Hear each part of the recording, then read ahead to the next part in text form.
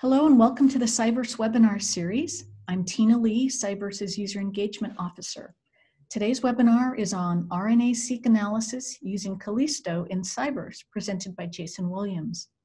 For those of you who are new to Cyverse, we are a cyber infrastructure project funded by the U.S. National Science Foundation. We offer these free webinars to fulfill a key part of our mission, which is to train scientists on how to use Cyverse and its computational resources. First, we'll take care of some light housekeeping and then start the webinar. Today's presentation is approximately 30 minutes with time for questions and answers at the end. Please mute your audio, but do open the Zoom chat window where you can type questions for Jason. He has told me that he is a multi multitasker, master multitasker, and may be able to answer your questions during this presentation, or will certainly answer them after he's done. The webinar video recording will be posted on our website by Monday for you to review at any time, and you can find the Kallisto tutorial in the Cyverse Learning Center. I'll also post that link in the chat. Besides these webinars, Cyverse offers other virtual training events and all of our learning materials are online. So watch your inbox for information about our upcoming learning events, Intro and Advanced Container Camp, and Foundational Open Science Skills, which we'll offer this spring and then visit our website for more resources that you can use to learn and teach using Cyverse. And now I'm pleased to introduce our presenter. Jason Williams is the Assistant Director for External Collaborations at the Cold Spring Harbor Laboratories DNA Learning Center in New York. It's one of our uh, collaborator institutions. As Cyverse's lead for education outreach and training, Jason is a trainer of trainers and has trained literally thousands of students, teachers, and researchers in bioinformatics, data science, and molecular biology. I've worked with Jason for many years and will assure you that he is one of those colleagues that you are glad to have around because he knows when and how to say just the right thing. Sometimes that may even be in Mandarin Chinese, but it lets everyone know that he's on top of a situation and to have no fear. So, welcome, Jason. All right, thanks. You set the bar so high. I'm just going to totally come in under the bar. It's Friday, everybody. So, welcome and thank you so much for joining. Uh, as Tina said, we will try to keep uh, we will try to keep track of questions in the chat and do our best. Tina also posted, and you might have gotten a reminder in your email to a link where there's a detailed tutorial that I'm going to be following, and I'll pull up later. And so. Um, you know, if you're really ambitious, you might have tried it and gotten all the way through because the workflow is fairly straightforward. But if you didn't have a chance, you might want to do that after and then follow up for questions. We'll be posting this and you can reach out to me and I'll, I'll do my best to help. Um, obviously, RNA-seq is a popular topic. We have lots of folks in the room and even more that registered probably to watch after. So uh, I hope to give you a bit of an introduction. Um, so the goals for this webinar is I'm going to give you a broad overview of some RNA-seq practices you might want to think about if you're doing this experiment. Um, we are going to focus on a single workflow for RNA-seq, uh, this Kallisto Sleuth workflow, and um, we're talking about bulk RNA-seq and not single cell, although you can actually use Kallisto and Sleuth workflow for single cell. I'm not dealing with that today. We've only got 30 minutes. And so I just want to make sure that I've helped you to identify some tools and resources that get you analyzing your data as soon as possible. Um, so all of the materials, and I'll refer to this later at learning.cyverse.org, and I'll come back and I'll show you that. Um, I'm going to spend roughly 15 minutes on the slides and then 15 minutes on, uh, well, maybe a little bit less, we'll see, on actually showing you the workflow, a little bit of the hands-on and a little bit of the visualizations you can do, um, and just to try to balance that out. Um, we've only got a half hour, um, so uh, there, I'm limited in what I can do. So I, am going to focus on that practical software and data hygiene. We're going to get just a few key concepts that you need to know about. Uh, I could do a cooking demo, although we're not set up for that. That those are things I can do in a half hour. I cannot tell you everything you need to know about RNA-seq. I can't get into things like sword juggling. Um, that would take a lot more than half hours. I just want to have realistic expectations that you know this is the material we're going to try to cover. Okay, um, there are also some compromises, and um, in an ideal thing, we'd have days to go over this. We would, you know, be doing this in your own computer on your own cluster. But obviously, some things have to be, um, you know, uh, just sort of preset for us in order for this to work. So one, we happen to be using example data, and they happen to be from eukaryotic model organisms. Um, so we couldn't do a do a bring your own data to half hour webinar. Um, we're working with, like I said, just a single workflow, but it's uh, it's not that it's just simple. It's really powerful and accurate, and so it's it's really a great workflow. All the tools and everything we've done are on Cyber, so it's not a situation where you need to install these tools. Although you absolutely can, and I encourage you to. Um, but maybe you'll also see some of the advantages of running this stuff on Cyverse. Um, at the end, it terminates using an RShiny app, and actually, we well to even get there, you need to use R Studio. But everything is an R Markdown notebook, so even if you've never used R, you'll be able to follow it along. And I'd argue, even if you've, you never used R, you could modify that notebook and and try to get started analyzing your data. But if you do have some familiarity with R, then you'll be even further along. Okay, so um, those are the two topics. That's how it breaks it down. Let me keep moving. Um, but uh, otherwise, we won't get into the, the meat of it. So, intro to bulk RNA-seq. Um, there are two things that I recommend that you read if you haven't. One of them is from 2016, but is really nice, so I still keep it on the slide. And the other one is, is a little bit more recent. So, the 2016 paper, and again, these will be posted, and you can screenshot if you, you need any of this, but you can Google it now is a survey for best practices of RNA-seq data analysis, and that's by Ana Conesa et al. in Genome Biology. And there's a more recent one, which is RNA-seq the teenage years, and that is by Rory Stark et al. Uh, and that was in Nature Reviews Genetics in 2019. If you can only read, if you only have time to read, you know, two things to sort of get yourself into the world of RNA-seq, um, those would be two places I start. I would start. It's it's really nice and relevant data. Um, and I already see a first question, which I'll stop and answer, but I don't know how often I can do it. Which is the question is like, uh, do, what's your take on the need to verify RNA-seq results with qPCR? When do you think it's needed? It's not. The answer is it's not needed. and let me tie that question into what I wanted to say, which is, um, while single cell RNA-seq is still really, um, there's still quite a number of things that are happening. I'm not saying that bulk RNA-seq is, is dead or anything, but the tool set and the approaches and a lot of the ways of doing RNA-seq um, are fairly, I think, converged on a fairly stable set of tools that are more or less going to give you very similar results. And I would encourage you when you're doing an RNA-seq experiment to actually try more than one pipeline if you have the time and if it you know if it suits you to, to, to try to see there will always be some variation. But as carl mentions um, to the comment by uh, dr washington um, reviewers will often say oh you should have you should have verified it with qpcr. And really the technologies are stable enough and reliable enough that that's absolutely not necessary. If you have an rna-seq result you can trust it um, for the most part. I think it, it might be valuable as a student exercise just to do the qPCR. Let's say you were working with somebody else's data, then I might do it as an exercise, but it's not needed. Um, so back to uh, the main flow here. Uh, yes, please read those papers if you have a chance. They give you a great overview. Um, my slide look, the highlighting has moved a little bit, but um, the, the, the takeaway from that Conesa paper is that RNA-seq RNA-seq there's no single pipeline that can be used in all cases. And they give, um, if you look about when RNA-seq started to, the very first RNA-seq, the thing that could be called RNA-seq, although it wasn't necessarily called RNA-seq, um, is uh, back in around 2000, um, 2008. Uh, so it's, we're now in a, we're now, we've got more than 10 years experience in doing RNA-seq. Uh, and and that was already at a time when we were pretty sophisticated with microarrays. So we're pretty stable, and this technology is not in the experimental days. Even five years ago, that um, I think you would have had a lot more. Oh, should we do this many replicates, and should we do this and do that?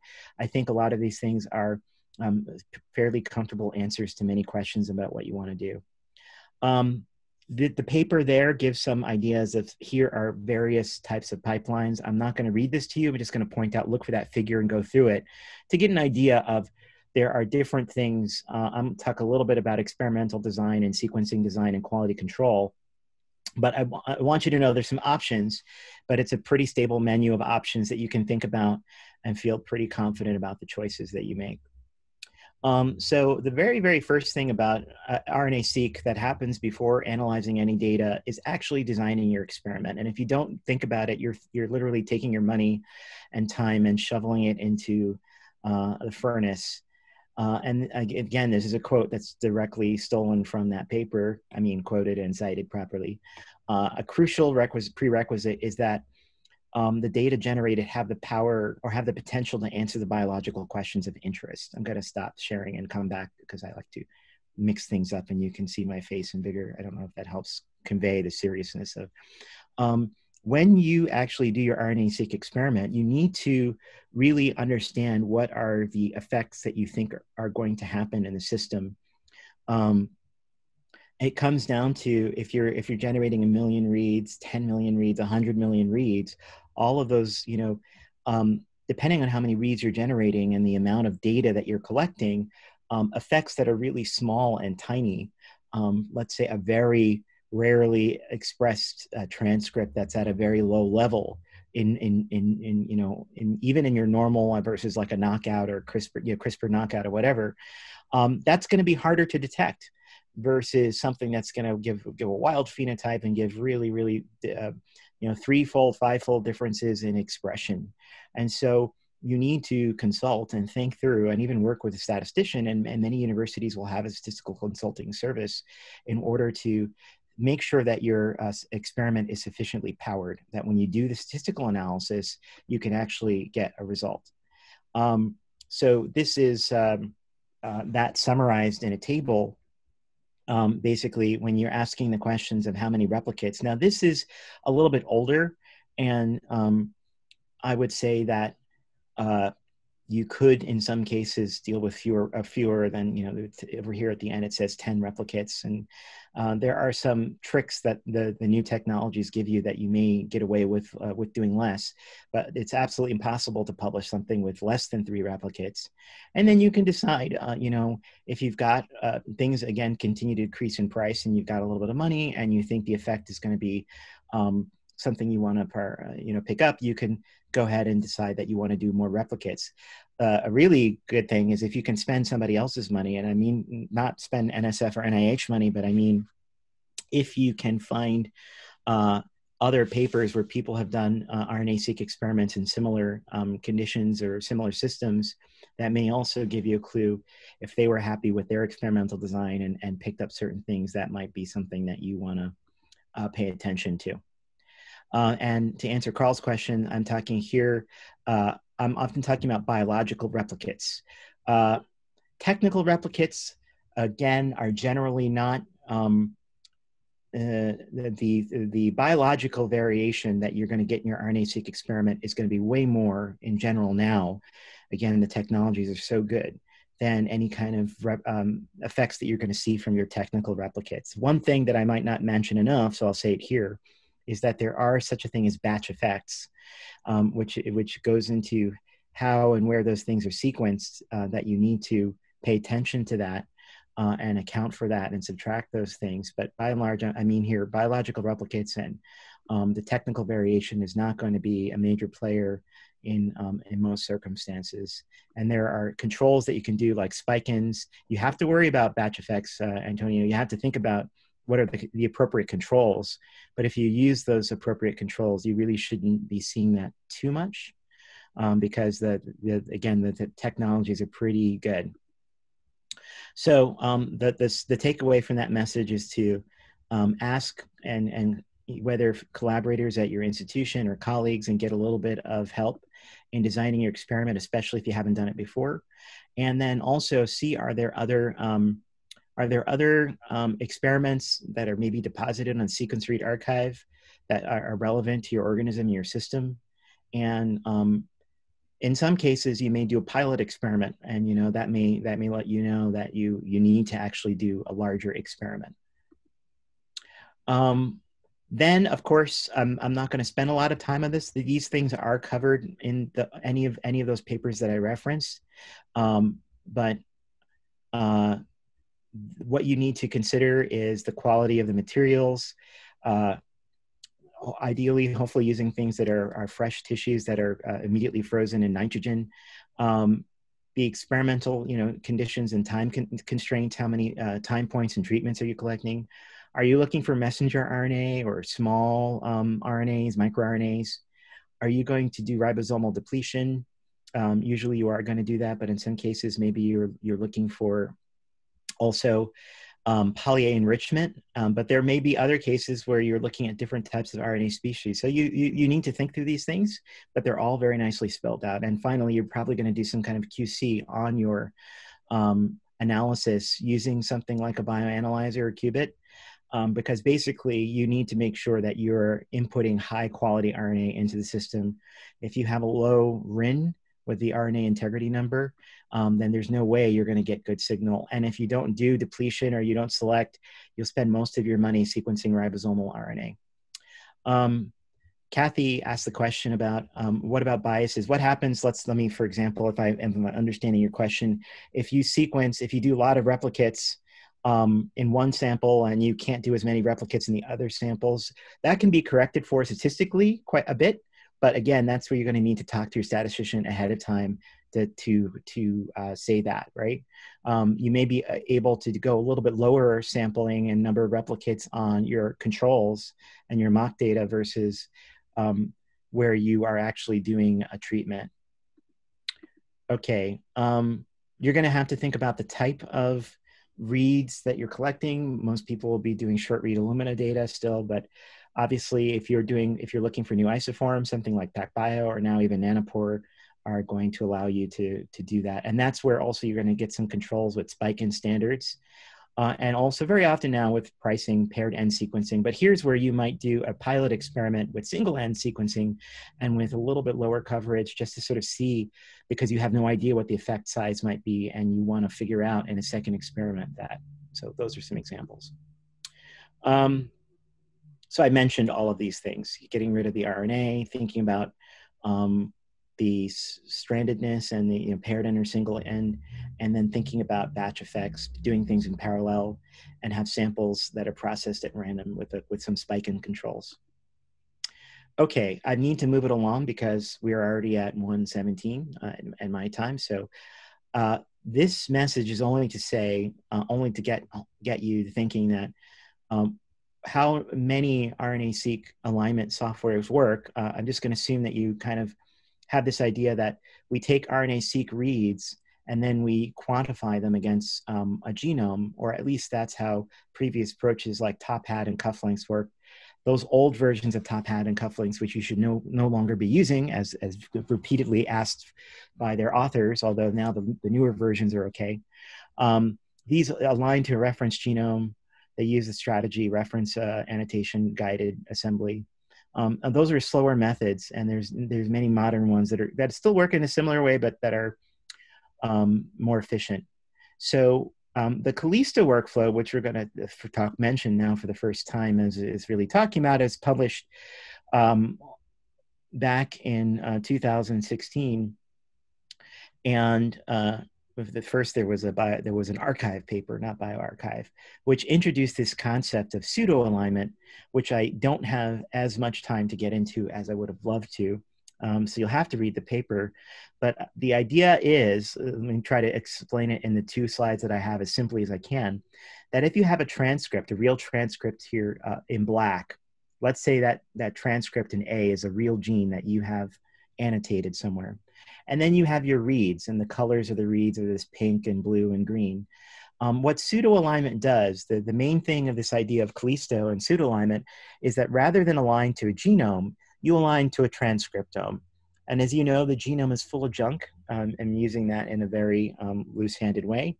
But there's a lot of things in the genome that aren't um, transcribed RNAs that we care about, perhaps. And, and so if you just search the transcriptome, you're narrowing your search space.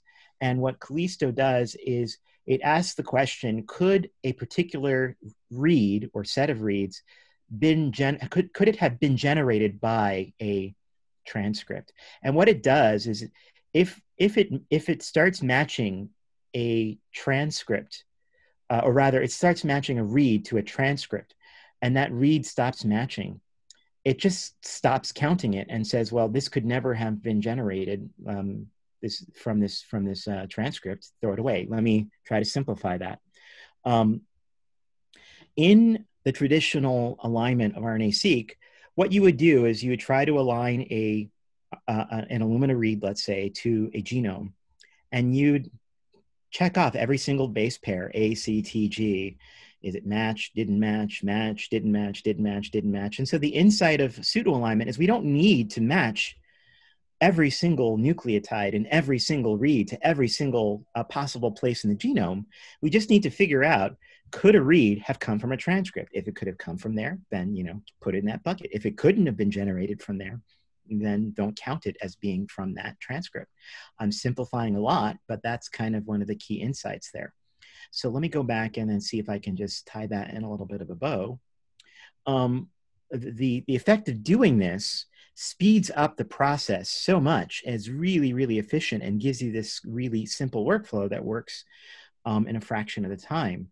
Um, this is the slide that I, if I go in a little bit deeper, um, you can probably read this, especially if you're a native English speaker, but you'll notice that, um, you know, if I read it aloud, I couldn't believe that I could actually understand what I was reading using the incredible power of the human mind, according to research at Cambridge University. Uh, it turns out that in, in English, and I'm sure many other um, alphabet based languages, as long as the first letter and the last letter of a word is correct, then you can actually read the words with almost no problem, right? And so the point here is, is that it just by a few characteristics of a word, we can actually match the word and count the word. And so Kallisto throws away that unnecessary information and then just uses the information that's absolutely the minimum needed. And so it speeds up the process of counting. And, and compared to the um, uh, original methods, uh, here you see, um, well, in time, 2,500 minutes, you know, TopHat 2 versus uh, less than a minute, you know, three minutes or four minutes to do Kallisto. So it's fast and it's also very accurate. Um, I'm not going to go through exactly showing, um, you know, talking about how I can convince you of the accuracy because I don't think we have time. Um, but it's uh, I, would encourage you to read the paper and get a little bit of the, the, idea. This is what some I believe some known truth data that just again shows you that you you really do get a nice alignment um, when you use Kallisto that it's not just fast, but it's also quite accurate. Um, what goes along with Kallisto is the second piece of software called Sleuth, where the statistical analysis takes place in the visualization. And there, what's happening is you are actually calculating the variance, the biological variance, and, and, and making some linear models where you're able to subtract and differentiate the biological from any other types of variants, and then actually do the statistical tests that allow you to try to say um, that one exp- one transcript is present and abundant at a higher level than another. Um, this slide could have come earlier, but yeah, it's talking about these transcript compatibility classes. So uh, I can go into that with somebody later if we have more time at the end, but it's just the way of counting and, and binning those counts that allows you to really have speed up. Okay, uh, I saw there might have been one question, so let me see if there's anything I can say or if I have to keep moving before I actually show you some of this. Okay. Um, Tara asked a great question.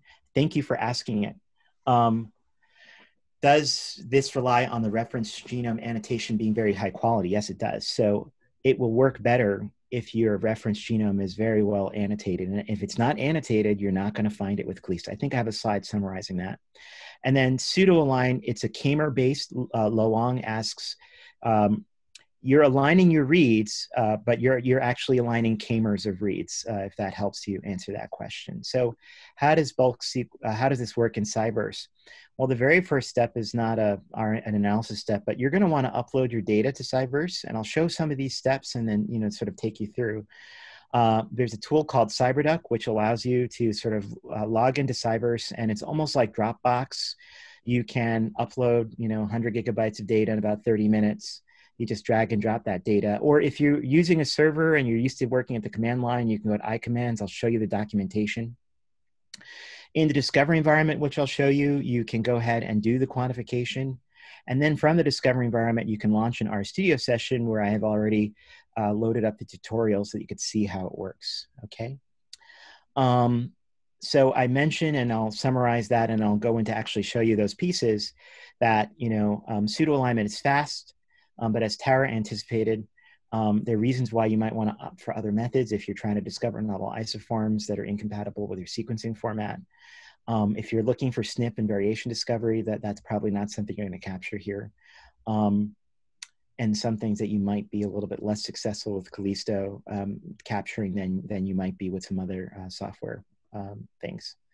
Um, finally, we're going to visualize everything. Visualization is always important. I always use the Anscombe's quartet. These data have the exact same mean and variance and correlation and linear, you know, all those things, but you can see visually they look very different. Um, if you look at those base statistics, I always like this GIF. Each one of these uh, visualizations have the same means, the same standard deviations, the same correlations, but visually they look very different. So you don't want to cherry pick your data by not visualizing it, and that's what we'll be able to do once we go ahead with us with Sleuth. Okay, so let's go ahead in the last one third that we have here and um, show you a little bit of this happening. And uh, let me see, answer some questions quickly.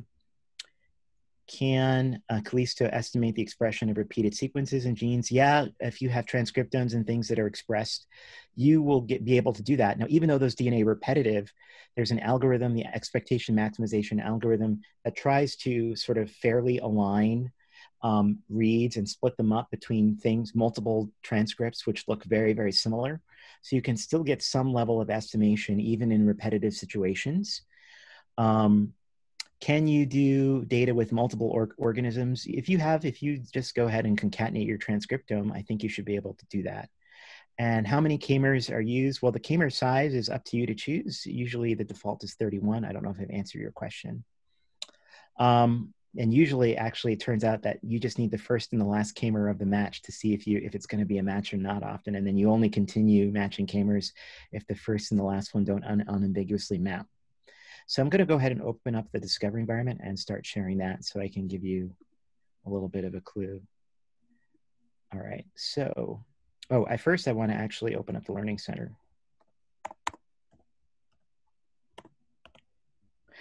Um, because we're short on time, in, in so to speak, um, this is going to look even more like magic than it normally might look because I'm kind of going at a, at a pretty fast clip. But rest assured that everything is really documented. So if you go to tutorials, this is at learning.cyverse.org. If you didn't get that, learning.cyverse.org, it's linked from everywhere. And um, if you see there's RNA-seq with Kallisto and Sleuth, and assuming I didn't mess up the links when I updated this the other day, it's all there. So every step that I, I, I, can do is all there. Let me quickly guide you through them just so you have an idea. First, there's a sample data set that this tutorial is built with, which is some Arabidopsis data where we actually have two different, um, you have geno two different genetic backgrounds and two different treat, or a different, and also an experimental treatment. So you have a knockdown and you also have hormonal treatments in this study design. Um, but if you want to work with your own data, you follow the data store guide. And within five minutes, you can start uploading your data to Cyverse if you haven't done so. The second step of doing this, it really is almost like magic because it's not a long workflow, is that you need to get an example, you need to get a transcriptome. So in this case, it's a Arabidopsis. So I went to um, Ensembl. But what you need to do if you are doing this with any organism is go to your choice of database, Ensembl or some other database, and go ahead and find the transcriptome and down and download it. Um, well, actually, you can import it. So from here, we have the cDNAs. And in Cyverse, I would right click to sort of get this link, copy this link location.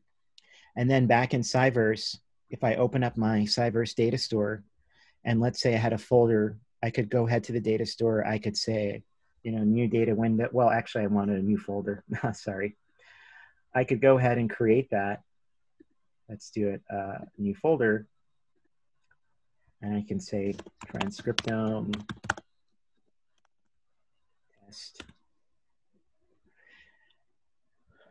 This is all covered. I'm, I'm going even deeper than I think I have to because I think it's well documented and we'll, we'll have time for questions finding this is going to be the most uh, difficult thing. But in that folder, I can say upload and import from URL and paste in that and then import that. Now, I would also want to import my FASTQ files.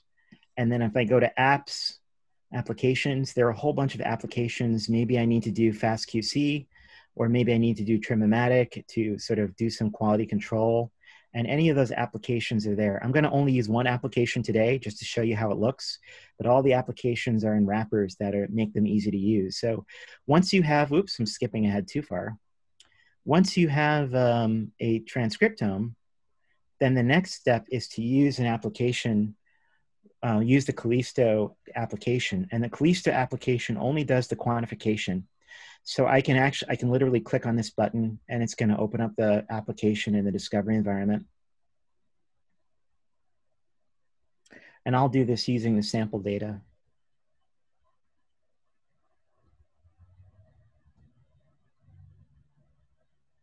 So it opens to where I was, but then it opens an application. So this is what an application looks like in the discovery environment. I can uh, give it a name. I could say this is a webinar demo of Kallisto. And then um, I've got input data. So it says, where's your transcript? Uh, transcript? I'm going to browse. It's opening to the last place I opened data. So that should probably, I think, be pretty close to where it needs to be. Okay, I'm going to select input transcriptome. So here's my Arabidopsis transcriptome, FASTA file. Then it says, are this paired or single end data? This happens to be paired end data. And then I would go ahead and click add. This actually takes longer than I'm, I'm gonna let it do because I need to go into my, um, my FASTQ files. And in this case, here are the FASTQ files. And I would need to select, in this case, it, it wants just the right files and then the left file. So I could go ahead and do R1, R, you know, I have to select all of my left end files. And I would say, okay, and then I would continue um, here with the right files. There are very few options, but you could decide to have some bootstraps, which increases your ability to find variance or to characterize that variance and visualize it. Um, if you're using single end reads, you need to give it the fragment length and standard deviation of that length. But then you press launch analysis. I'm going to go ahead and open one that I've done previously. Um, I think, let's see, this one I did yesterday. So um, you might have, I did that a little bit quick, but the analysis button back here opens a history of everything that you've analyzed. And then when I click on the name of that analysis, it brings me to the location where that data is located. And because I use that data as my setup data, it's actually not going to be there. I've moved the folder. So what you're going to get out of that is actually the data that is already open and public to you in the uh, Cyverse training folder. So tutorials, Kallisto, and uh, you're going to get this output. And for every single pair of reads, you are going to have um, you're going to have a folder. Whoops, this is the uh, the wrong place. You're going to have you're going to have if if I get to it or not um, a folder which has the quantification data for each pair read. So let me try one more time to see if I can get to the right place. Training.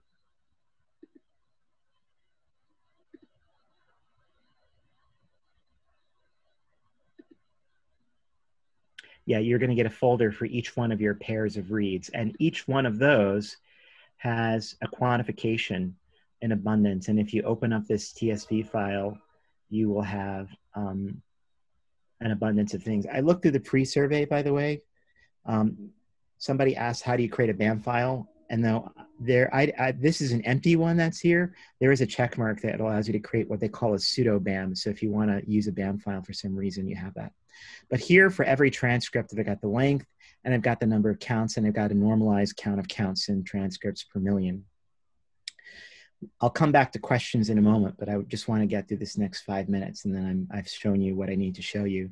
So once you have that data, what you can then do is there's another application um, in apps called R, RStudio Sleuth. So if I search for Sleuth,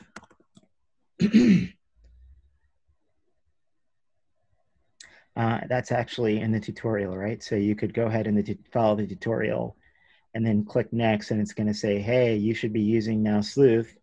And you can click on the button to open Sleuth, which is quicker than what I've done there. I got a lot of DE windows open. Let me close some of these windows. And in the Sleuth application, um, once it loads, it's just gonna be asking you for the FASTQ files. And it's going to be asking you for something they call a study design file, which I describe and which is in the documentation. And that file is a TSV file that has just columns of your sample names and also the conditions. So you would complete, um, you know, you'd have to browse, oops, you'd have to browse for the notebook um, that I suggest if you want to start from the notebook. Let's see if it will remember. It's close to where I want to be. So here is my sleuth notebook. And then the data sets are the outputs of the Kallisto quantification. So that's this folder 03. Um, I, I'm selecting not one of these folders, but if you look on the left-hand side, I'm selecting that whole folder of folders. And then the study design is a TSV file. And I give you an example one, and it's also provided, you know, in the documentation, I'm gonna select that one. So when I click on that and click launch, it's gonna launch an RStudio session. It might take a few minutes to launch uh, in order to have the data, you know, copied into that session, but you'll get a notification and you'll click the link and then you'll be able to access that. Uh, when you do access it, I've already got one running here. So here's RStudio, and I'm actually going to go right to the top. So this notebook tells you step by step um, all of the things that are that you might do to do the analysis. So this is a great starting point if you've never done this analysis, and it's based on some tutorials that they provided. Um, and if you don't know R, what you do is for every one of these green buttons, it's a little chunk of code. So you run that code, like we're checking that we've got sleuth and we are loading um, that version. We've loading some libraries. Um, the thing that you'll need to maybe adapt is there are some folder names here. When you launch RStudio, it's automatically because you did that um, launching. You're going to have your results already imported, so they're they're in the session, which is a bit separate from the data store and the Kallisto. So you may need to make sure that these names and, and file paths match. But what you get, this is the first example of it, is uh, here is our, uh, this little file that we created where you have the listing of your different pairs of reads. Here we can see the, the genetic variation, wild type, or different alleles. And then here we've got mock or treated with ABA, abscisic acid, and then the file path. Um, those data are loaded. And then we go to Ensembl using something called Biomart. And from Ensembl, we can go ahead and choose PlantSmart. And then we can say we want to bring over some gene features because the names of the genes right now are something like AT1G, blah, blah, blah, blah, blah. But you might say, and as we do here, bring over the transcript ID, the Ensembl gene ID, the description, the gene name, all of those things you can bring over. So you would, you know, run each one of these piece chunks of code and then you'd bring them over. Um, they're explained. Now, a few of these take a minute or two to run, so I've already run them. In this one, you're prepping um, all of those data for the statistical analysis, but you can then easily draw some plots. So here are some um, PCA plots that help ask questions about, for example, batch effects. Is everything, uh, oops, my phone, not my timer, although I'm already over. Uh, but we'll, we'll finish up in two minutes. Uh, you could look at these PCA plots to sort of look are you know things filtering out the way that they should, or for example, if you have really strong batch effect, is replicate one from every single um, condition group grouping by itself versus grouping by the condition group it belongs to. Those are some quality control things, and they're all explained here in a little bit of detail. So. Um, you can also see a gene by gene um, expression uh, number counts according to your different samples. So these are drawn for you without very much um, for you to fill in and customize, but you're welcome to do that. And you don't have to know a whole lot of R to do that, but it might be useful if you don't use R to sit, have someone sit with you. The best thing at the end is that you can go ahead and launch this interactive Shiny application. And with the Shiny application, then you can actually go through and play quite a bit more. So first thing I might want to look through is the test table where I get a listing of all of my genes. And now I pulled in from Ensembl the gene description, so I know a little bit about what that gene might be, if there's a putative function for that gene. And I get the idea of the, the, the significance value, the expression, all of those different things. And I can sort and filter and download this. Um, if I have a particular gene, that I want to see a, a, a, um, an analysis for, I could say that I want to do gene view and put in that gene name, and then I can instantly draw some plots. Well, we'll see how instant is. Yeah, so here are my plots. And it's that bootstrapping which gives me a little bit of the uncertainty around that plot, one, that bootstrapping option that I showed you a while back, but you can draw those plots. You can get summaries. Um, here's our design matrix, but I think also, what was I looking for? Um, you can look for things, I didn't do the, um, you can look for, you know, things like uh, variance and over dispersion. You know, so there are a whole bunch of things, and I think you, will need to look at the sleuth uh, documentation, but it's a wealth of things, and I went through that super, super fast. Um, but it really is almost a three-step process of run, um, you know, get a QC or get reads that you find are reliable, and then run the quantification using Kallisto. There's actually two steps that the app does, which you don't have to know right now, but it does an index of the transcriptome for the lookup table and the hashing, and then it goes ahead and does the quantification. And then finally, you move that data set into Sleuth, and you can do that in an RStudio session right in Cyverse. Um, so there are a whole bunch of questions. That's the presentation. I would encourage you to go back to learning.cyverse.org and run through that tutorial. This video certainly would be enough to get you started. And with that, I'm going to take questions that I see and answer as many as I can until I'm cut off. Um, so the question from Leo, I think, was answered by Tina. Um, Dr. Washington asked the question about how many samples can you do in a Kallisto workflow. I don't know what the limit might be to that. Uh, so I don't know if it's unlimited, but I think I've not seen anybody stop. Um, Kalisa does, uh, she does make a good point about which version of the apps are actually, you know, able to use. What should I use? So if you notice in the way that I did it in my tutorial, I've linked to specific app versions that I want you to use. So you can trust those. Um, actually, I should not share this. I should share the um, tutorial. Uh, let's go back. Back on the tutorial. Sorry, they look similar, which is why I got confused. Um, back on the tutorial, you'll notice at the very beginning of the tutorial, oops, I'm opening things I don't want. At the very beginning of the tutorial, it tells you the versions and the names of the apps that you that this tutorial uses, so I can tell you that they work myself. Uh, and these links take you exactly to that app. So there's no danger if there's other, there are other Kallisto versions and you may not want to use those, um, but there's no danger of being misled. Other questions? Okay, uh, Kallisto aligns. Uh, so Kallisto does the pseudo alignment and it does counting, but it doesn't do the comparison. So the actual differential expression or differential abundance happens with the sleuth, where you do those those modelings and you uh, model the variance, and you then get an idea that's corrected um, of what the expression or rather the abundance would be. Um, Andres asked the question, if you want to do this on your own computer, what memory and power? A normal laptop would actually be enough. That's one of the efficient things about this. So you could actually do, this was designed actually to be able to run on a laptop. The advantage of Cyverse, besides having everything installed, uh, I think is the data storage because maybe you do have several hundred gigabytes of data that you want to move across. And also if you want other people to collaborate and, and work on that data, it's in a space where other people can access it perhaps a little bit easier.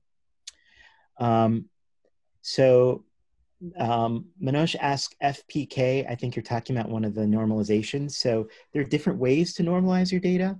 The way that Kallisto reports it is in transcripts per million. Um, so I don't know if you could go backwards and do a different normalization just from the count data that it gives you. I don't think you could do that, but maybe somebody's written a tool that does it. And so I don't know the answer to that one. Um, can you do Yet there are, Karen asked the question, can you do DE analysis with something other than Sleuth? Yep, there are other tools on the discovery environment. And if there's not a tool that you'd like there, on the right-hand side of the discovery environment, there's a little chat button and you can always ask us and get some help. Um, Adrian, Dr. Washington, you ask about checking for good alignment. And I think what you might be asking, um, let me see if I can pull it up, an example of this is you do get some uh, statistics at the end of your uh, quantification about how well things mapped. Um, I didn't show that. I'm looking to see if this will load. Give me a second. Um, you know, you definitely want to see that the pseudo alignment rate of your reads to to a transcriptome is high. Um, so I'm thinking you're looking for 70 or 80 or 90 percent. Obviously, not every single transcript is expressed in every single tissue at every single time point. So you don't necessarily expect a, a 100% result, right? Um, you would expect that um, if you're getting a very, very low uh, alignment rate, that there could, there's a chance that there's, there's something wrong, that there's an error somewhere, but you're expecting, I would think somewhere higher than 70. Um, I'm just looking to see, I'm looking at these tables I don't remember where the one that you're looking f- that you were asking about. Um, there is a summary table. I'm not sharing my screen yet. There is um, in in one of the. It's just not loading for me. I because I am uh, a little bit scattered in trying to find it. But you do get a pseudo alignment summary that tells you what that rate is, and so you can check that. It's one of the files, but the example one I wanted to load is not loading. Um, is Sleuth compatible? So let me see if I've skipped anything. Would it be useful for a new organism first do with PacBio? Um, hmm. Uh, if you're looking for an organism where you don't have a lot of the resources and you know you're um, I think PacBio is great because you could use something like IsoSeq and then really get uh, the knowledge of what the transcriptome really looks like because you're going to get full length transcripts. So, I mean, if you can do PacBio and you have that money and, you know, you want to really get some good resources for something that there's not a lot of data, it can be really useful. Um, is Sleuth compatible with Salmon? I've never done it. I believe that some people might have taken um, Salmon data and uh, and used some of the Sleuth tools. I just not have done it. So that's a Google question to find out um, when you ask the question about can you combine things like DESeq2 and EdgeR and stuff like that, um, I wouldn't say necessarily, you know, some the quantification parts. There's not it's not a matter of compatibility because you they would be redundant, right? But you could do them in parallel and see if they give similar answers. Um, but yeah, people, lots of people are asking questions about how do you you could you combine some of these things, and I would certainly first make sure I run workflows um, in the way that they were designed and run them parallel side by side to see if I'm getting similar results. And then I would certainly Google or even talk to some of the people who use them in, in that way to see um, if there's any benefit to going leaping between them. I do, um, I think I tried to answer before, Leo, the question of working with more than one organism. And as long as you have a transcriptome that represents both your parasite, let's say, and your host organism, you should be able to do that. Um, you can also um, you can do some bacterial um, sequencing. Um, I have not done it, so I can't speak to how well it does work with Kallisto, but I do know um, Jacob. Um, so we're at 148, so we can take maybe one more question. Um, and I don't know how much of this will be make it onto the recording, but hopefully that people were able to get a lot out of what we are able to say so far. Jason, why don't you take one more question and then we'll end since. Um, two more because the other one, okay, I'll take yeah. two. All, All right. right. After FastQC and Trimmomatic, um, you don't need to merge the paired end reads. You just you just give them once you've done the the the Trimmomatic step, you still have um, the reads are synchronized, um, but you uh, but, but you you you you never need to merge them. You can load them straight as they are. As far as my last question, which is a perfect fettuccine alfredo, the secret is always the pasta water. So there should be absolutely no cream. That's not to be used in a fettuccine alfredo. Uh, you really just want to have, I, I, recommend using a grater, a box grater, to get that fine crumbly um, Parmigiano Reggiano or Pecorino, whatever you're using, uh, should be Parmigiano. And that with some, uh, into the pasta water with some butter, and you just use that and really emulsify and and use that and uh, to make the sauce, and you'll have a perfect fettuccine every time. See what I said? He always has the perfect thing to say so that you know he's on top of the situation.